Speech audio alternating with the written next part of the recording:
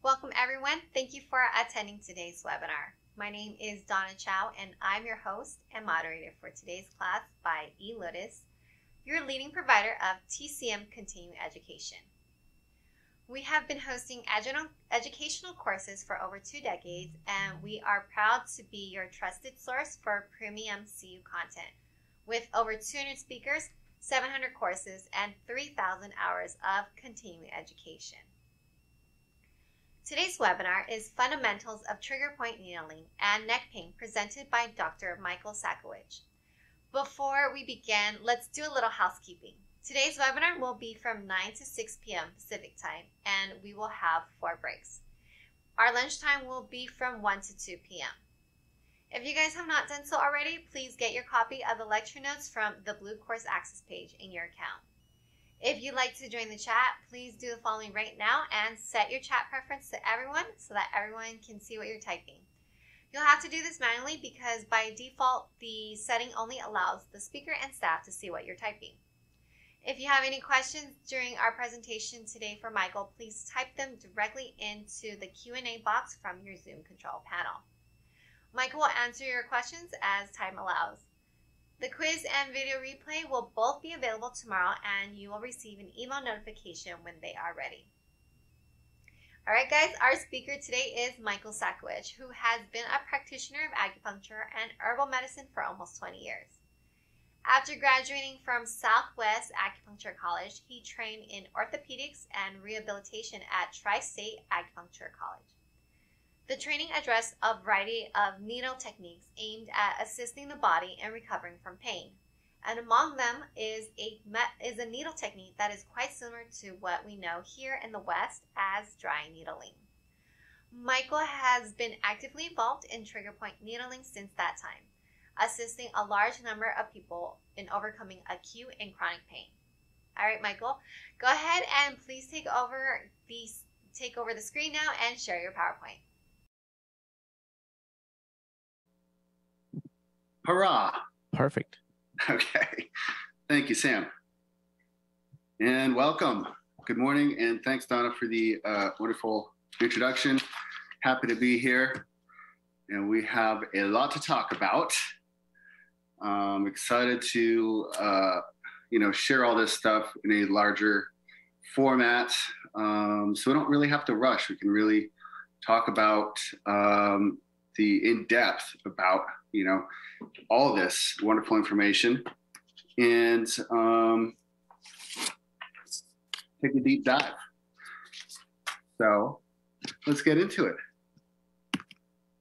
So, as was said earlier, I went to SWAC in Tri State. Um, when I was at SWAC, I had a uh, really great, um, not only some really great mentors, um, but great classmates too. Um, one was Andrew Nugent Head, who, uh, if any, if you know him, he uh, he spent a lot of time in China and really digging deep into uh, tradition, like really old traditional Chinese medicine. And so it was really uh, a unique experience to be in class and sit next to him. And, you know, while the teacher was presenting going oh but this is the deeper idea of what that is or you know it was it, it gave me a, a, closer look into sometimes why we you know like what the classics were saying and how things get diluted into you know how we think of things now when we read you know uh, certain texts. Um, but anyway that was a really unique experience and I, i've learned you know a lot of these needle techniques through him um, and so that was really great. Um, but further on in life, you know, I had, uh, you know, when I lived in Boulder for many years, you know, Colorado, and um,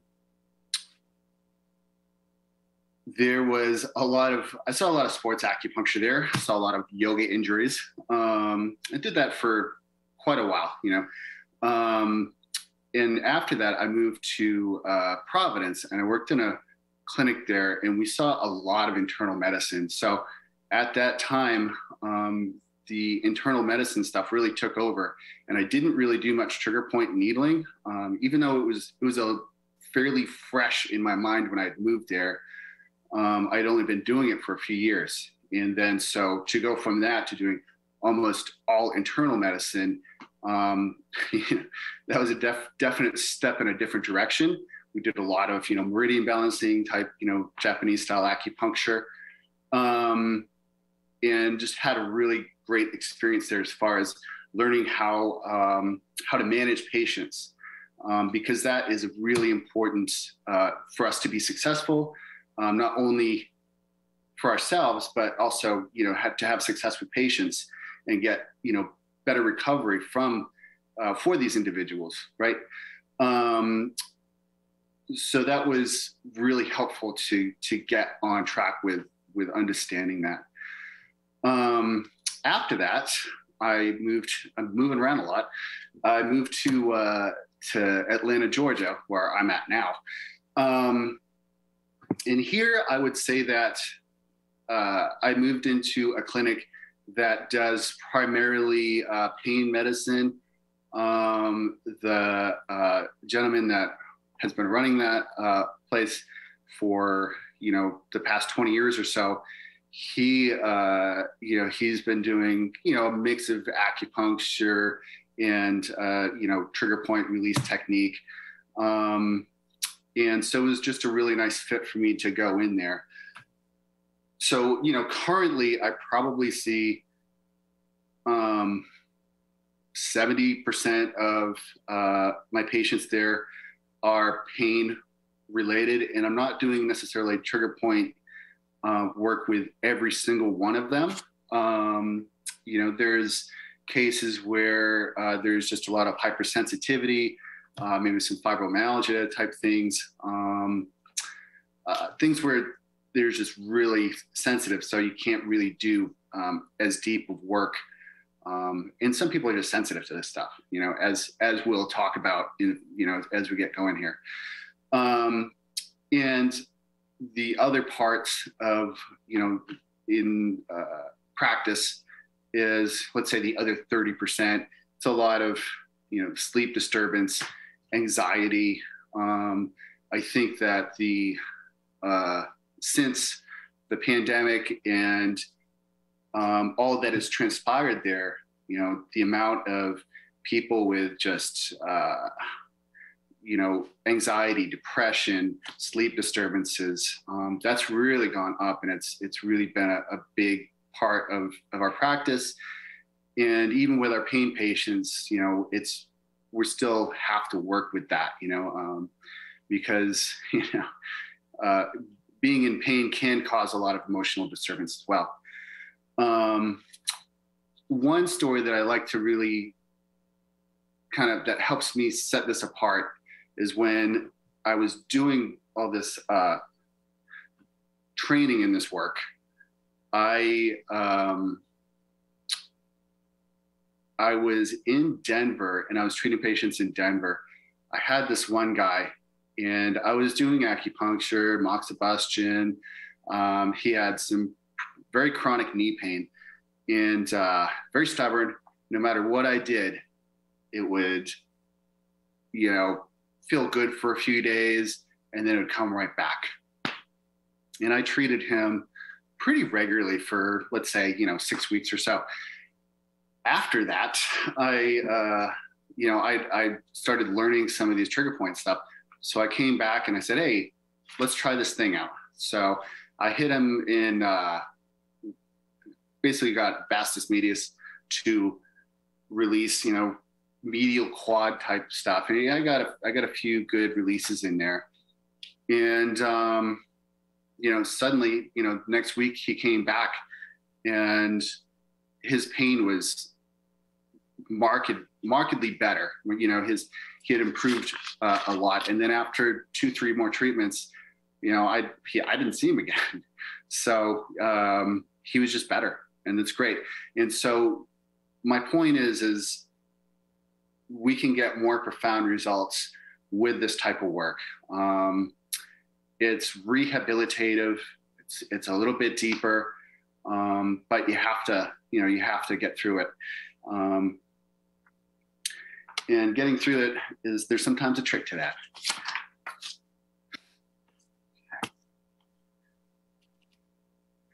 So, goals for today. We want to figure out, you know, trigger point identification, palpation skills, patient management, um, good techniques when we're needling, confidence in the entire process, and skills to build upon. Um, I would like to say that this type of work, um, for some people, it's going to come very naturally. Uh, and for some people, it's not. And it's um, a really simple thing to kind of get, you know, really dig your claws into and start getting results very quickly.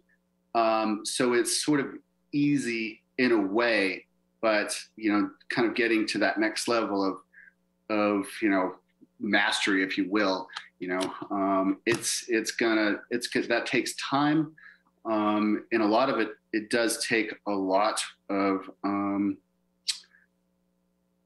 practice and understanding um, muscle, muscle systems and fascial systems, because all of this uh, goes together. This is um, not only are, are we looking at you know the muscular systems uh, and fascial systems, we're also taking away what we've learned from um, our Chinese medical backgrounds, right? Because meridian therapy is also very powerful. Um, and I do use a combination of, of all these techniques with my patients. Um, and you know one thing is we're always learning right uh, i had a i had a really interesting patient yesterday. She came in. I've been seeing her for a little while um, maybe four visits. And um, she has been dealing with some like deep deep hip pain um, all around her pelvis. Um, so uh, but it was all one-sided right? And so she uh, she's been making good strides um, in the right direction. We get to a point um, where you know she's just finding things to be really stubborn in her hip, but she did come in with leg and some foot pain and, and you know some some different you know, upper back stuff too. And we're just kind of clearing out all this stuff, right? Um, but one thing was a little stubborn, and she gets on. Uh, she's 49. She gets on hormone uh, replacement therapy and her hip pain goes away.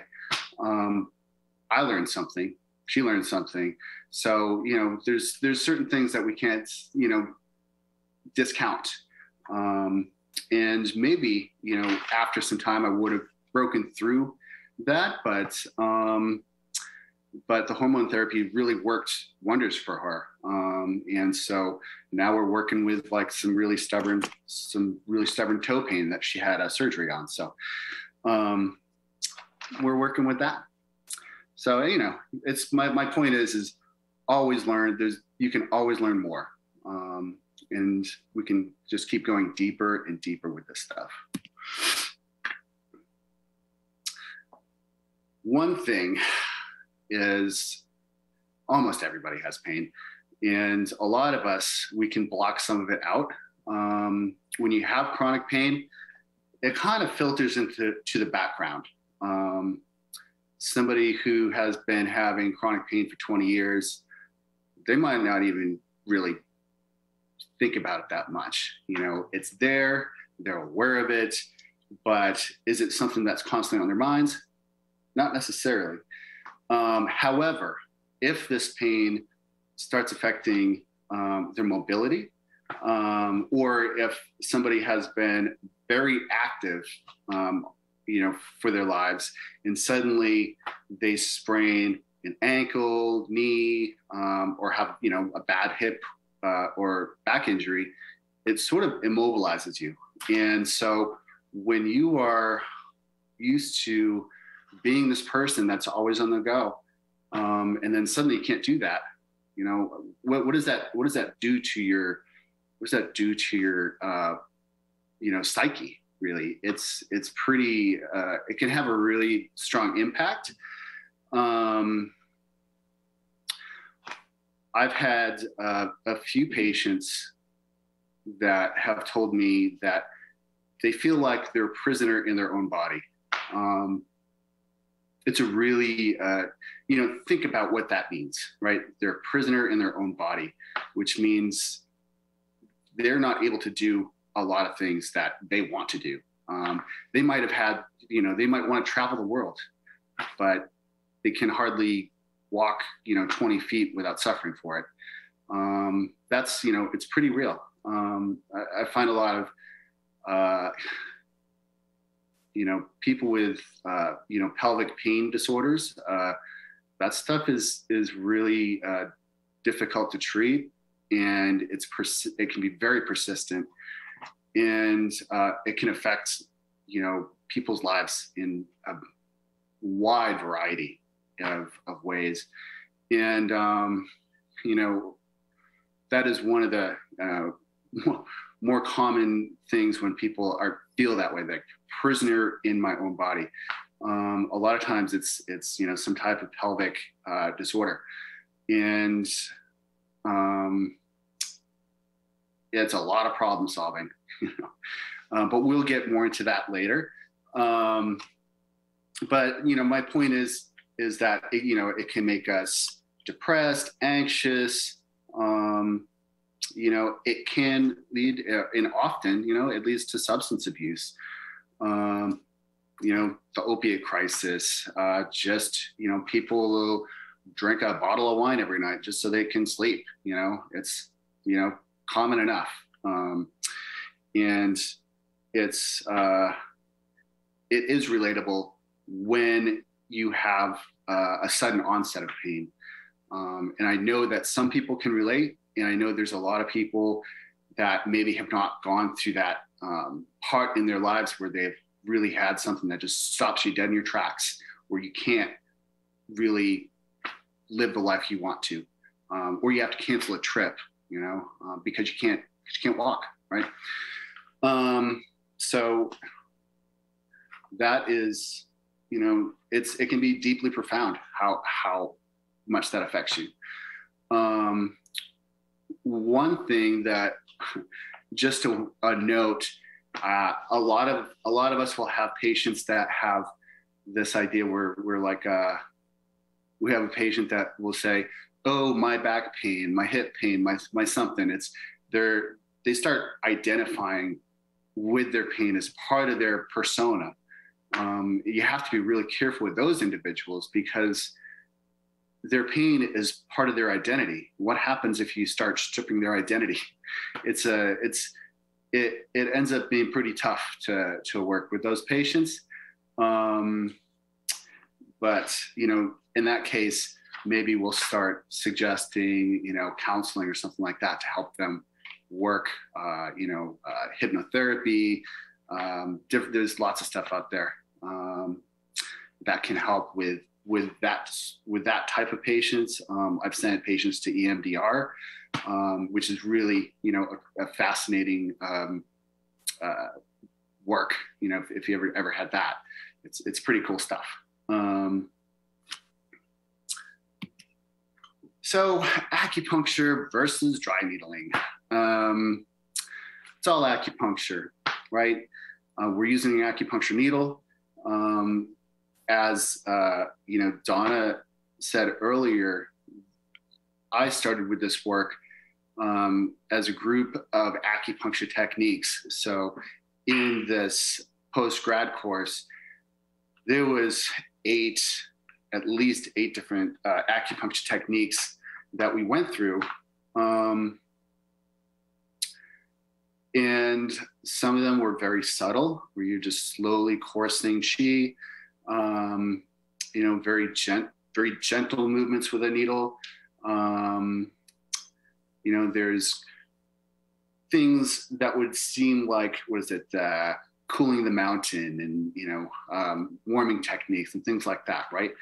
Um, and then there is this. Uh, Assur needling. Um, and I think somebody even translated it as, you know, sparrow pecking technique or something like that, you know. But anyway, it's all different words or different terms for acupuncture, right?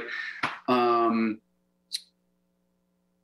so, you know, PTs will sometimes uh, get upset with us calling things dry needling. We get set, upset with PTs doing dry needling. Um, that's a whole other topic for a different day. Um, but you know, what I find is I'll have a patient and they'll come in, they say, Oh yeah, I've had dry needling before. Let's get to it. And I'll go, okay, great. Um, and I've learned, but a lot of times uh, patients will come in thinking that they've had this needle technique when really they've had, you know, E-stim acupuncture.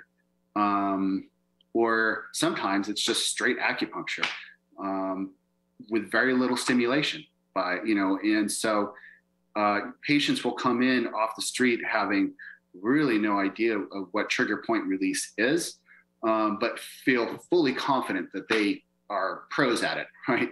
Um, so that is something where when I have a patient that's had uh, dry needling from PTs, I ask them to describe what their experience was.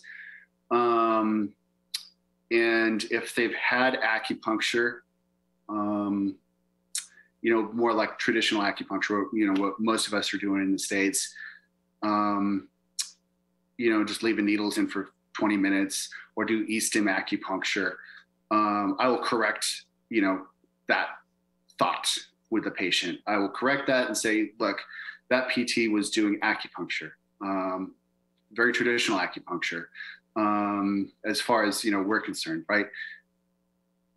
Now, then I will describe to them that you know what we're doing is going into a trigger point, and you're going to really feel what I'm doing, um, and you know explain to them the process.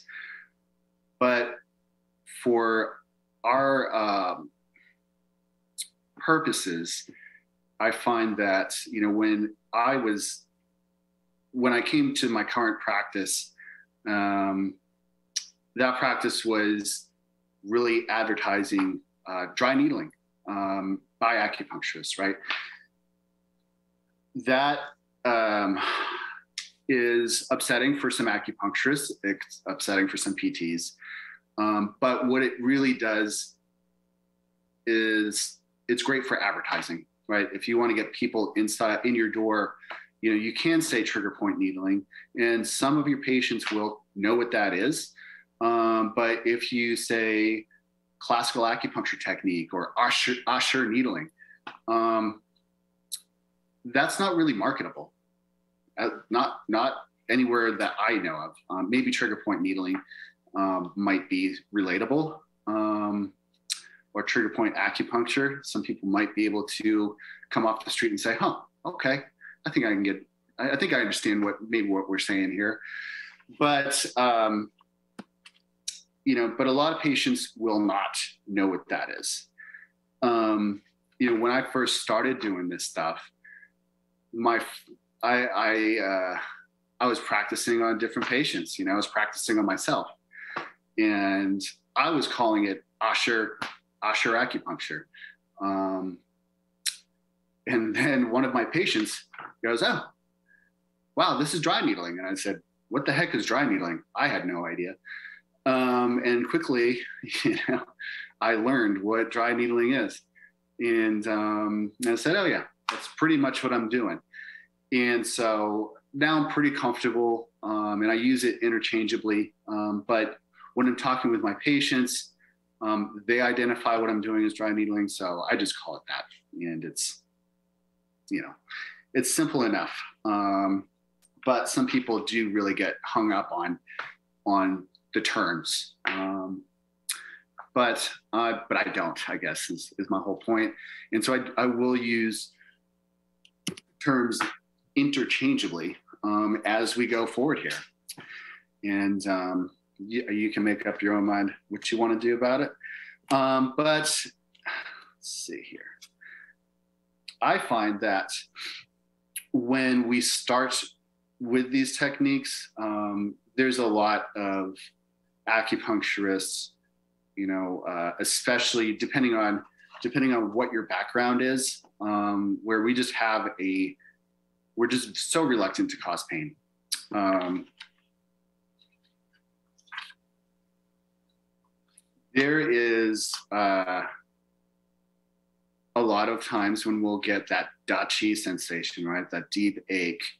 Uh, oh, that's good. That's what we're going for. Um, you know, that's that's a lot of times what we'll tell our patients. Um, and when we're doing this type of, uh, you know, acupuncture, it is when we're talking de qi, it's a lot of that deep ache sensation, followed by it a surprise. Um, and it can have a lot of, of sensation. Um, so I like to um, more or less inform my patients what they're going to feel or what they're likely to feel. So generally, if it's the first time, I'll say, look, it's going to be a little achy at first. Um, and then there'll be a surprise. Um, and you know, getting used to that sensation takes some time. Some people get it right away. Um, but I would generally tell my patients that it should not be painful. Um, but there's a lot of sensation, right? Um, and depending on which area that you're working in, has different sensations.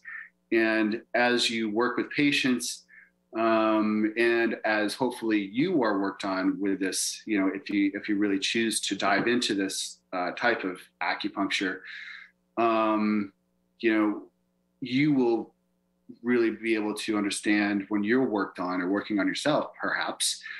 Um, you know, oh wow, that spot in my leg is really that's really sensitive to have worked on, or you know, upper back is really bad. I think different people have different areas where they prefer to not be worked on, um, but sometimes we just have to get through um, and and you know have it different things uh, worked out because as we do this work, um, you know, things come up and we might just be working out or walking down the street and tweak something and have to, you know, address it pretty quickly. Um, but I do find that, you know, legs are really uncomfortable. Um, it's just the muscles are just so dense there.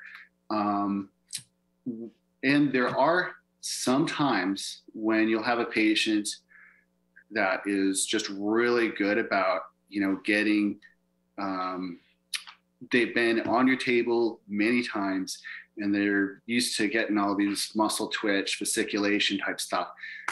And they're very accustomed to it. Um, and then they might come onto your table one day and um, maybe they're having a you know fight with their wife or husband uh, bad day at work. Uh, maybe they just had a close call um, in traffic um, on the way to your office. And so um, they could be really sensitive. You know, stress makes people very sensitive.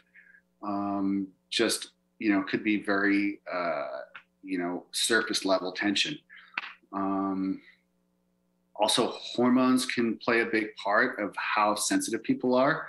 Um, and so when even when I have uh, patients that are very accustomed to being needled, um, sometimes you just get in, you'll get two, three good releases, and say, "Oh, that's it. Let's not do any more of that." You know, and if that's the case, we would just switch gears. You know, uh, maybe I'll just suggest doing some acupuncture uh, or shiatsu or cupping, gua sha, whatever still want to achieve our goals um, for that patient. Um, but a lot of times it's not worth pushing our way through um, because you could just do more harm than good. And in, a lot of times, if you push your patients um, through a situation like that, it's not going to be good for you or them.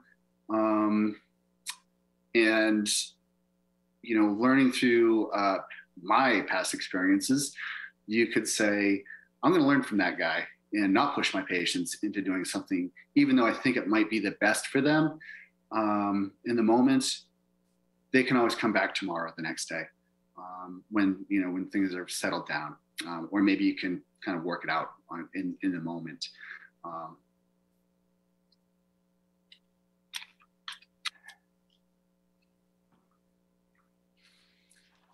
some sensations that we do really want to avoid though. A lot of times when we're doing uh, just getting a needle in, you know, you can get a lot of stinging, burning. Um, you know, I always talk my patient, go back and forth with my patients, you know, be really clear with them um, to tell me, wow, that's really uncomfortable. Why is it uncomfortable? Um, it's because sometimes that uncomfortable is just a really strong de qi. Um, and I will inform that patient that um, that that is a normal sensation, um, and as long as they're okay with that, we'll continue. Um, but there's a lot of times when I am when I'm needling, I'm kind of more or less probing along, looking for that trigger point. Um, and sometimes when you're in one location, you can move that needle into multiple um, angles to find different different trigger points within a very small area. Um, that can be a little uncomfortable, but it really does get really great results. Um, but when you're doing that, you can sometimes hit some, you know, dendrites or axons or something that creates a spark, you know, like, wow, I just got a really weird burn sensation um, or stinging or something that's really biting.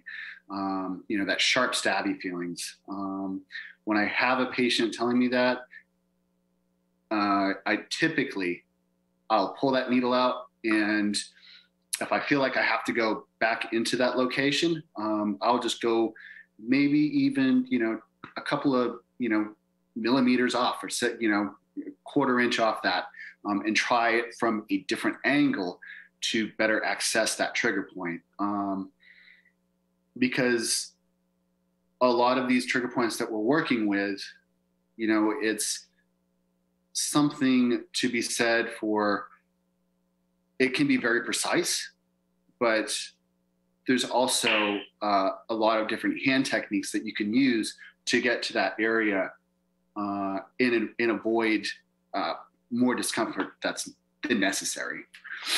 Um, but yeah, we'll talk about legs and uh, abdominal stuff a little bit later, but it really is uh, very uncomfortable uh, for a lot of reasons.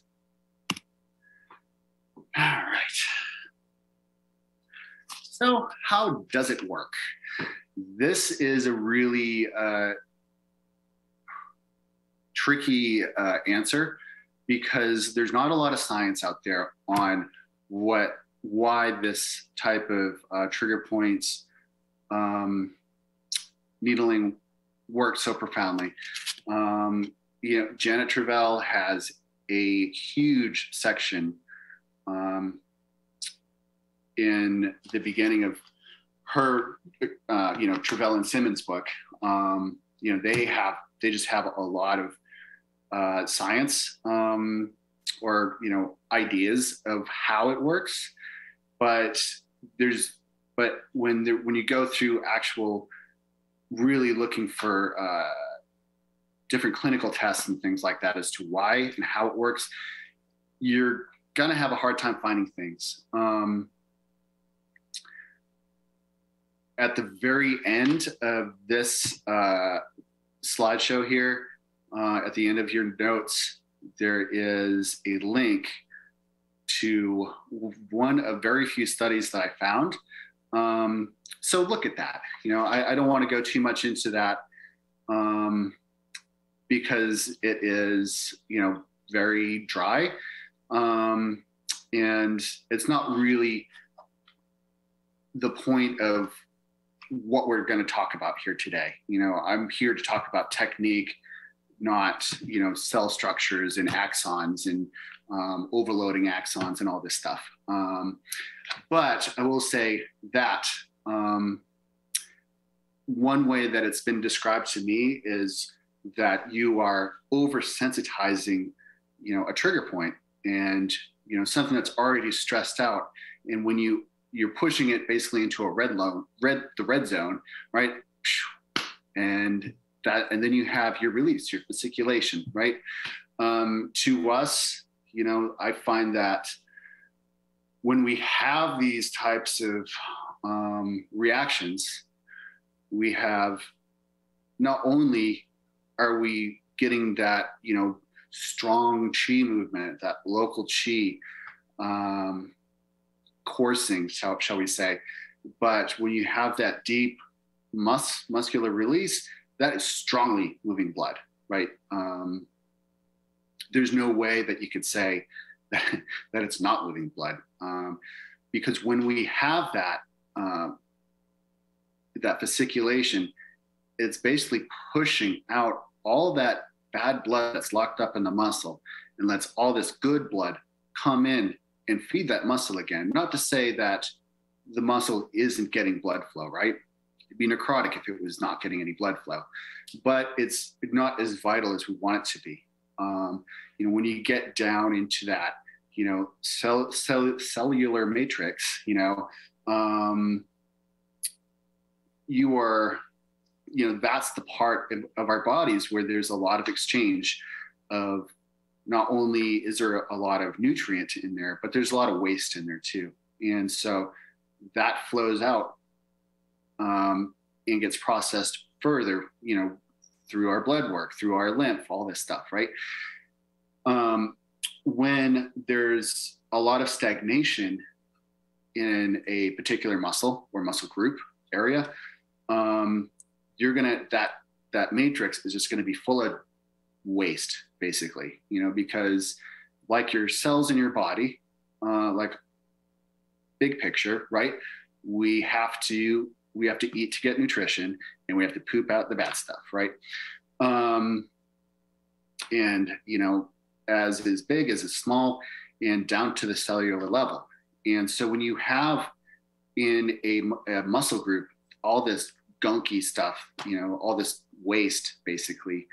Um, you, you get you get that fasciculation and pushes all that stuff out and lets good, you know, nutrition, blood, oxygen to come in, and that um, is what rehabilitates the muscle um, to basically get you know deeper healing.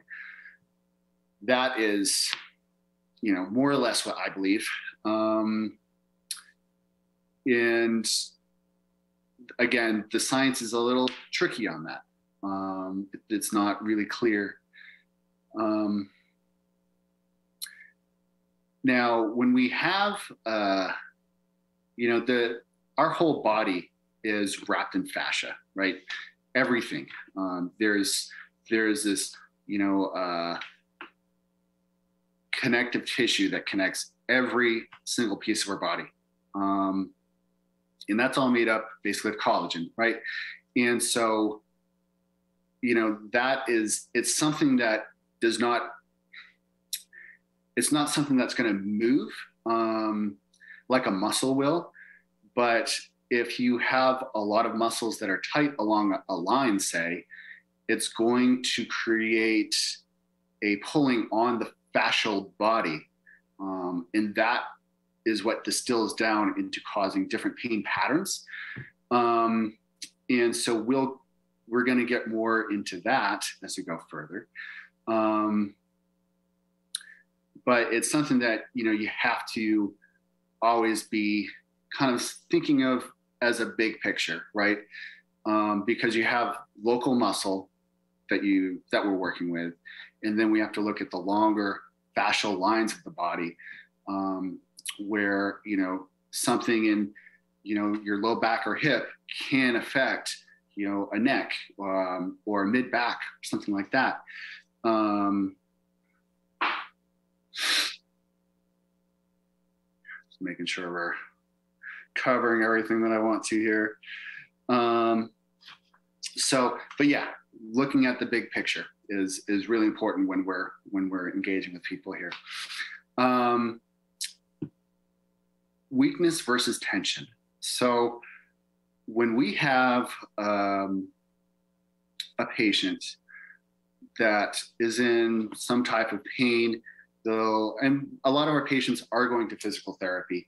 Um, and the physical therapist will say, "Well, you're weak here and there, and we're going to build you up, um, build up your muscle muscle strength in this said area, right?" And there's absolutely nothing wrong with that. I think that's it's all good and sound. Um, but a lot of times, what I do, you know, try to tell my patients again is that you know because of uh, because of a muscle strain, um, the muscle strain itself is going to start is going to cause that weakness, right? So, and what I mean is that a normal muscle, you know, when when a muscle fires, it should be going, you know, as far as you know uh, strength goes, zero to 100, whatever your strength is as a person, right, as an individual, because that's very individualistic there, your muscle should go zero to 100.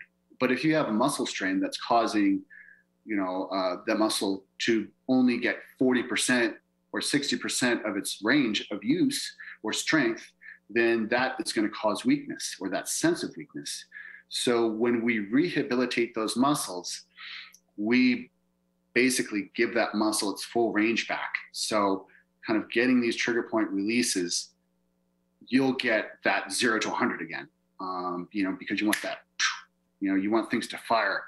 Um, and sometimes, you know, of course, we, all have, we need to have smooth movements too, but, but that is, you know, that is the difference between, to me, you know, having that weakness and strength. Um, and it's not always just as simple as that, of course, you know, there's, there's a lot of different um, uh, situations where that can cause that weakness. But uh, but more often than not, I find that it's just that that muscle strain um, is that muscle is not integrating into the muscle group as well uh, because of because it has trigger points, you know, and that's what we're that's what we're after.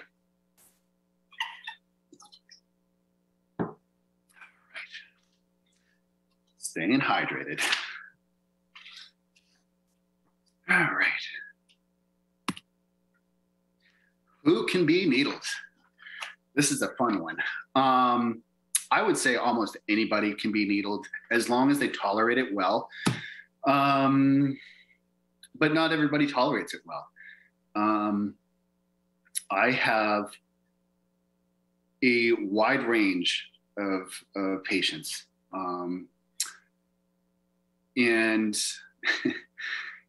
from very athletic people to people that are you know just not athletic at all. Um, but i would say that almost anybody can be needled. Um, some people are really just hypersensitive to it and they just can't tolerate it.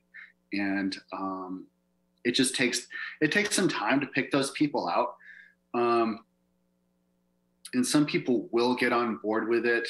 Um, and the, that's the reason why at the very beginning steps of this stuff, I like to go very slowly.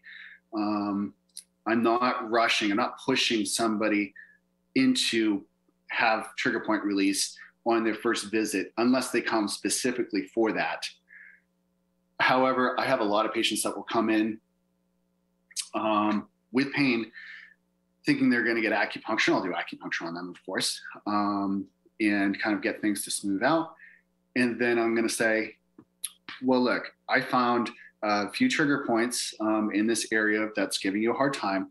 So I'm going to walk you through some some dry needling and um, see how you do with it. We're going to go very slowly and just kind of walk them through the process. And some people are like, please, please never do that to me ever again, or I'll hate you. and then some people are kind of on the fence about it. Maybe we'll try it again next time they come in. Um, and uh, some people are just like, wow, this is exactly what I need. Um, and I know it. And let's do as much as we can of this today. Um, and, you know, um, that that is a wonderful thing because those patients, if they respond really well and they're very comfortable with it, they will um, they'll get better pretty quickly. Tends to be. Um, now, pediatrics. So I had uh, you know, I do treat uh, most most peds that I have uh, tends to be less pain. Um, it's more, you know, uh, digestive related things or um, ADHD, that type of stuff, right? Um, but what I do find is that the world that we're living in now, um, even, you know, junior high, they're pushing these kids to be athletes. You know, there's very little time for schoolwork because they're they're working on whatever sport that they have. Um, I had a 12 year old. Um, he was really serious about his tennis game, and uh, apparently he was really good at it. You know, really good for him. And he uh, he tweaked his uh, arm. You know, he, he had like a tennis elbow thing happening, and it went uh, it crept, you know, back, you know, it was sort of like a tennis elbow thing, but it crept up, you know, basically the back of his arm into the top of, you know, his shoulder um, and a little bit into his neck. And uh, he was really funny because he was really, he really wanted, to, he was excited to try acupuncture. And then, you know, he, he was all about the Google. So he was looking all this stuff up and he's really excited that I did dry needling too. And so, you know, so I was just surprised at how it, excited he was to be needled. Um, so I took a smaller needle than I would uh, more, you know, than I would an adult patient and worked very slowly with him. Um, and he did great with it. Um, but tip, but more often than not, your peds are not going to want to deal with it because they don't want to deal with needles in general because needles are scary, right? Most adults don't want to deal with needles either because needles are scary. But um, but that's an example of you know you can you can you know treat younger folks. You know if they're I don't you know 12 is is as young as I've needled. I don't know if that I, I would needle somebody that uh, is younger than that at that point. I don't know. Um, but I always take it, of course, case by case. Um, elderly is another thing where, you know, it depends on the person. Um, I have, you know, some uh, elderly patients, let's say 70s, early 80s. Um, I've even had uh, early 90s that I've needled. Um, but these patients are, you know, very active. Um, they're not sitting at home drinking tea in their rocking chair, you know, as some older people might do. Um, but they're out there, they're, you know, doing yoga, they're doing dance, they're going for walks every day. You know, some of them are more active than I than I am, and uh, you know, I wish I had the time for all that. Um, but uh, a lot of times with elderly um, patients is you know you have to think of the uh, elasticity within their bodies right um, especially if you're working in their upper body um, because you don't want to you, you, don't want a pneumothorax um, nobody wants to deal with that obviously and so you know you just have to be really thoughtful about those patients.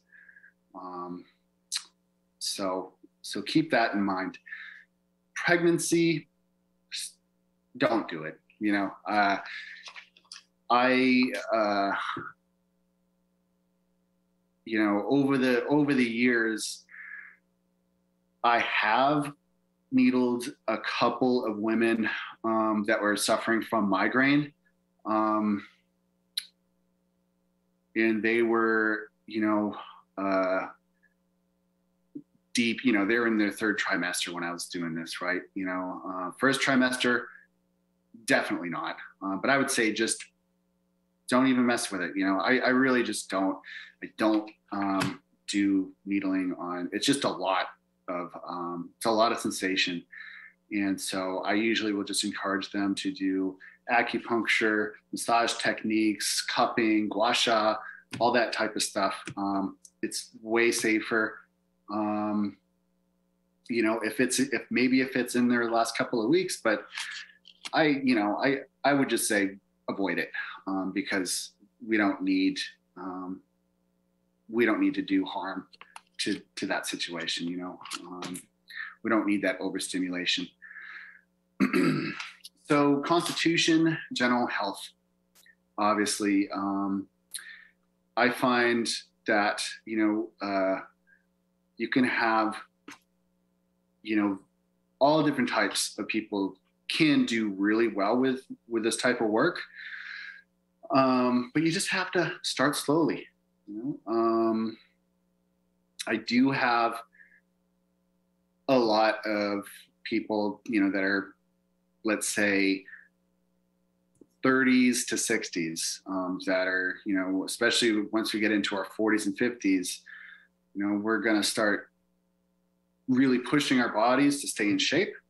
Um, and when we're really trying to stay healthy and at that age um, it's really easy for us to just have a little mistake you know? Um, or you know there's maybe some sports that we did in you know high school into our 20s and when we're you know 40s and we're kind of bring it with that same type of vigor that we had in our 20s um, it's really easy to you know have some injuries and, and mess ourselves up. Um, so uh, but you never know. Sometimes uh, i had i had this one patient. He uh, he's a bigger guy and he had hip pain for four or five years, something like that. Um, and he came in, and I really didn't think that he was going to do well. Um, and I thought it was going to take a lot of time. And uh, I got, after two visits, um, he got better. And he was like, I heard from a friend of his that, you know, that comes to me more regularly that he was out in Japan doing all this hiking out there. And I was like, amazing, you know, after two, three visits um, to have that stubborn hip pain just go away. Um, now, the thing with your, you know, deficient, hypersensitive patients is, you know, go slow. Um, don't do a lot of needling on them. Um, or, you know, uh, I will start with acupuncture um, you know, regulate what's happening a little bit best best we can. Um, maybe needle a spot or two, and then perhaps we'll do some moxibustion on them, um, um, or some, you know, if if you're privy to this, doing some, you know, like qigong type massage techniques, that type of stuff. Um, is really great with those deficient patients. Um, you can get a lot of great results just doing, you know, very very, uh, you know, more or less coursing things with them um, can be really powerful. And the intensity of needle needling can be controlled in most situations.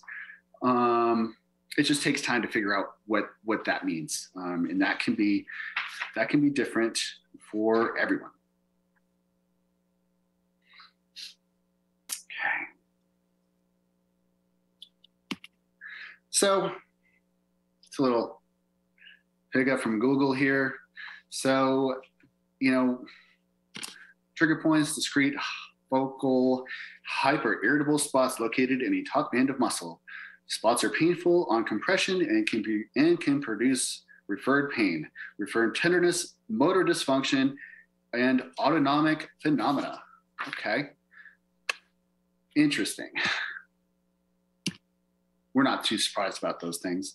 Um, and uh, we've all seen the uh, trigger point patterns, you know, where where the you know uh, from the Travell Simons books, where they have the X with all the red referral pain stuff. Um, that is all, um, you know, we don't have to explain too much of that stuff. We all know that. Uh, motor dysfunction, you know, that's that can be kind of uh, back into sometimes weakness. Um, sometimes you'll have patients where they can't uh, they can't pick up their coffee cup in the morning because they have you know so many trigger points in their arm that they don't have smooth movements. So they it's you know they don't have strength. Um, autonomic phenomena. That's a that's an interesting one. Um, i look at that again there's there's a lot of like pelvic floor dysfunction. Um, that's where i see most of that autonomic phenomena.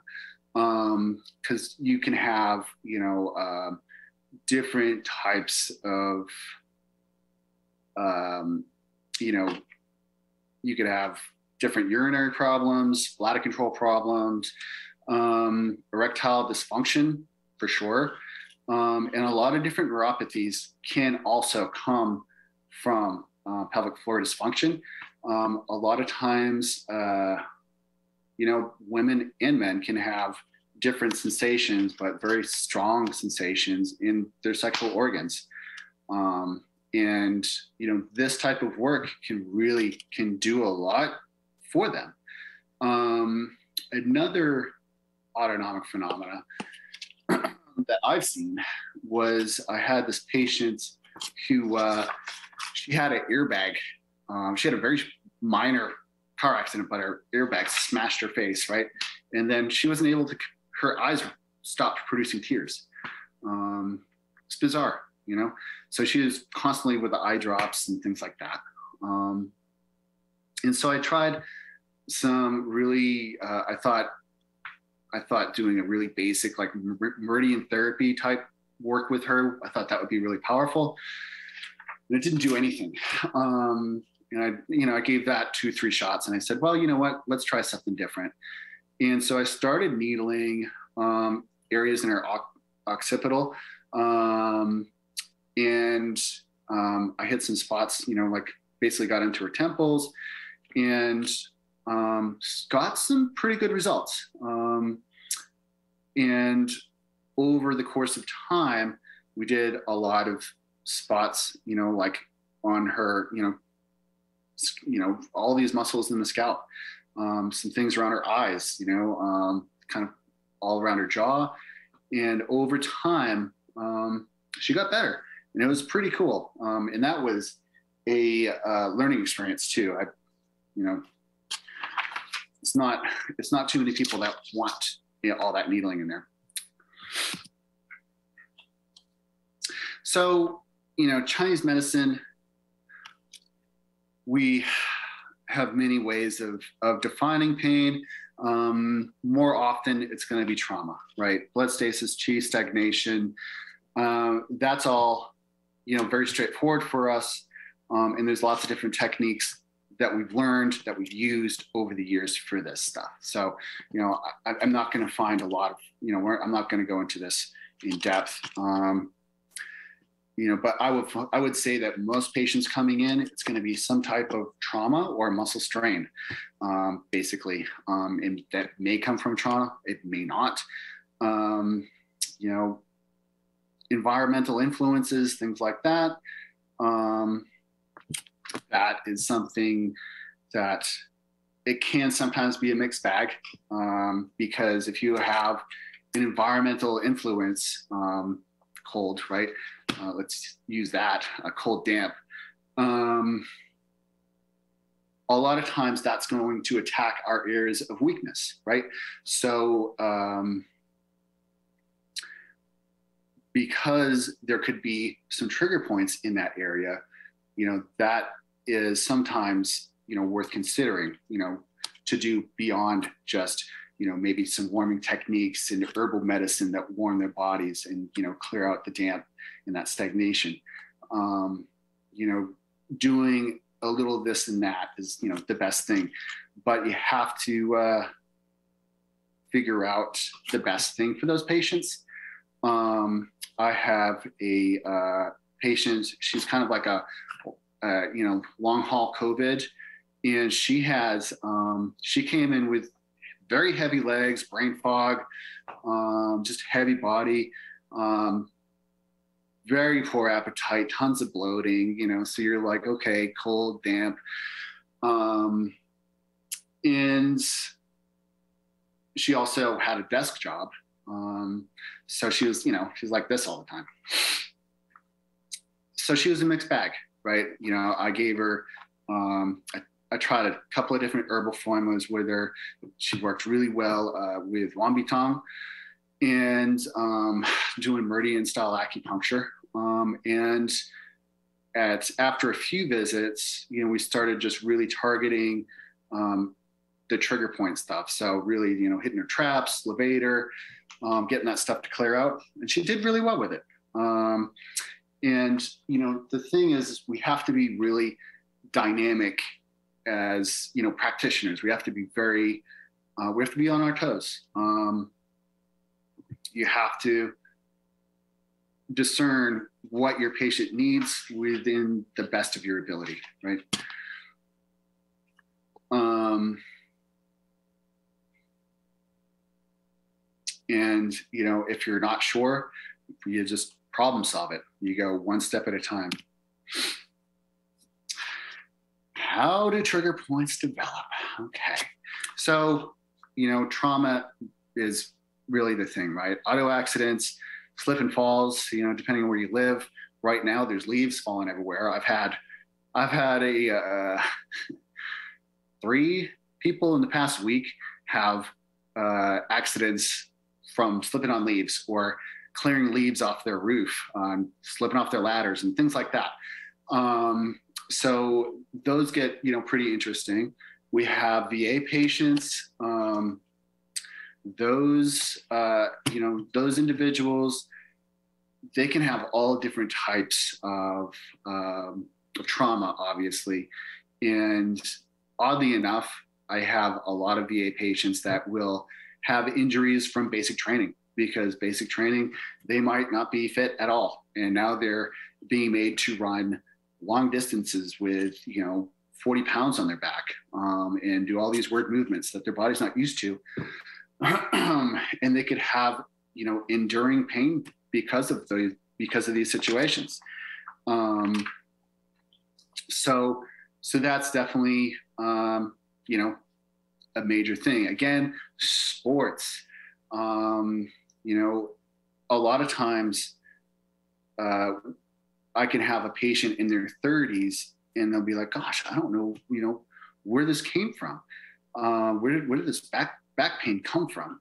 And, you know, or, or shoulder pain. Um, and, uh, you know, it, a lot of times it's when you're younger and you're really pushing your body um, to perform, right? You're going to develop trigger points um, over time. Now, when we're young, our blood is vital, right?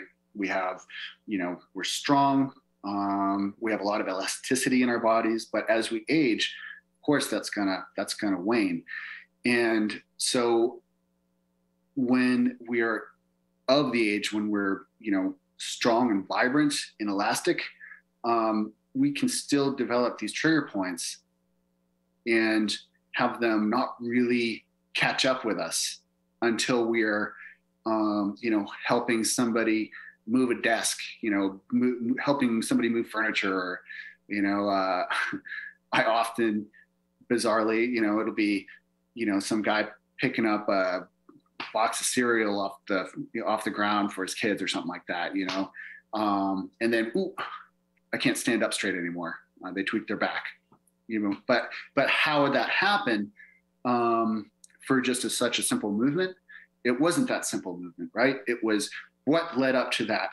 Um, and maybe it was maybe they're doing a bunch of deadlifts the week before, um, or maybe they're playing you know some full contact sports, you know, playing hockey or football when they're younger. You know, it's it's really difficult to say what that you know trigger was um, that made them their back seize or you know what whatever that pattern started. But a lot of it is you know that type of you know, I, I, I think it's a worthy consideration. Um, you know, baseball players, a lot of times they'll come in with shoulder pain um, if they played, you know, high school baseball or softball, right? Um, obviously, overuse, um, posture is huge. So, you know, um, some people just don't hold their bodies up very well. Um, it's a struggle for many people. Um, and what I tell people uh, is, you know, just really pay attention. Um, it's really easy for a lot of us to be, you know, even, you know, as at an acupuncture office and you're working, you have, patients all day long. You know, you're on your seventh, eighth hour, and um, you've had a stressful day. Your your uh, posture might start getting pretty poor. You know, we get tired, we get lazy. Um, but these types of things, you know, it's yeah, it could be worth setting timers, right? I tell my patients sometimes set a timer every 30 minutes or an hour to check in, take a deep breath, um, check your posture, you know, like tuck in your tuck in your neck, you know, straighten your spine, drop your shoulders, um, observe what, where you're holding tension. Um, so so that's important. Um, bed and pillows, you know, it's it's tough finding a good pillow, right?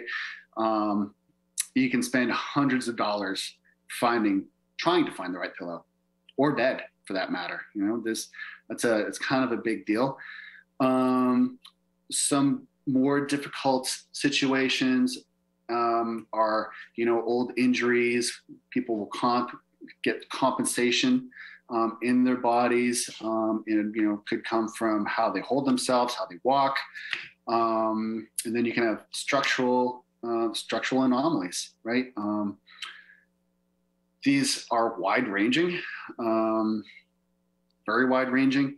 And, you know, sometimes it's just like a bone spur or something like that. Um, sometimes it can be uh, hardware, screws, things like that that are, you know, in the body. Um, and we are not going to be able to really fix that, if you will, but but we can help. Um, we can help these patients um, with some of these some of these problems. And I always say, if you start up next to a, a CrossFit, you know, you got those those those people are messing their bodies up pretty regularly. Um, but nothing against CrossFit, right? Um, but yeah, you could do really well by that. Um, I often have a lot of patients that will, you know, they're they have this kyphosis, right? Because they're they're constantly looking at their computer, they're they're you know sticking their necks out.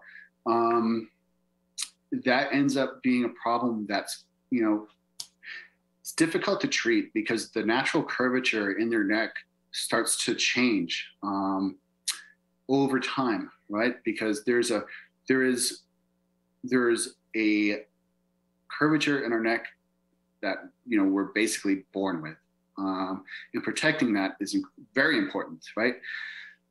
And the best you can do is you know maintaining um, good posture and and that keeping that awareness.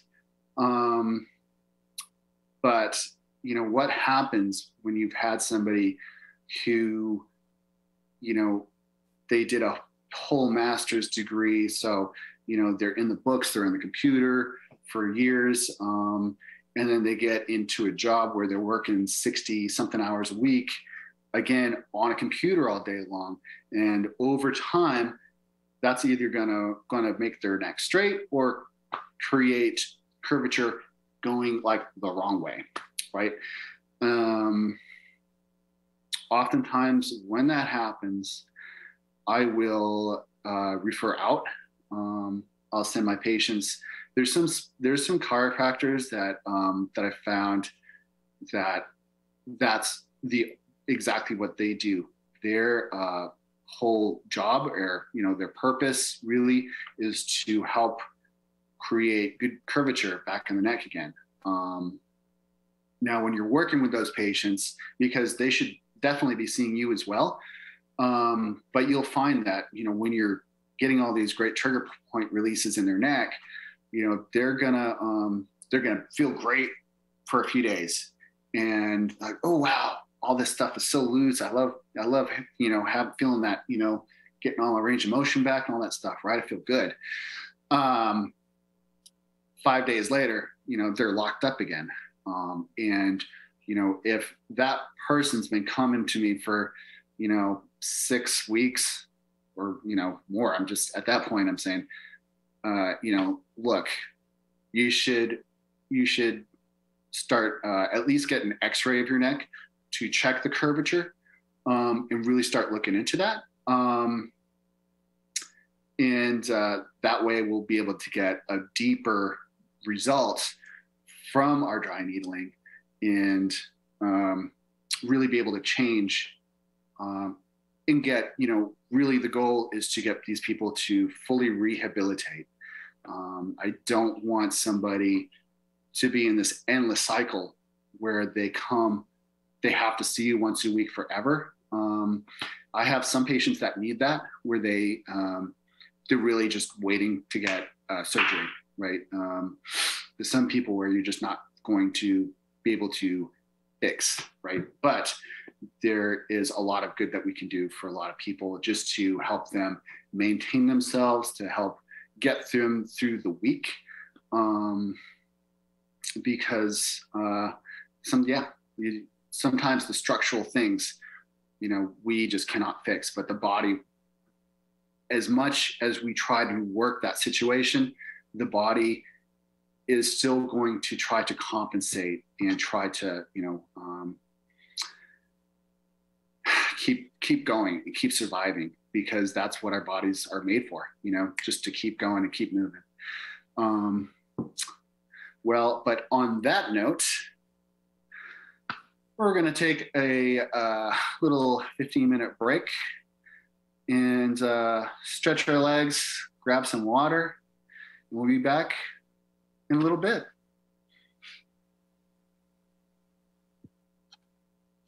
Take a look at this. Thank you, Mike. We'll Thank be you. back in 15 minutes.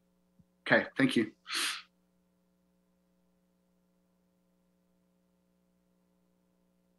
Okay, that will be at 10:30 Pacific time.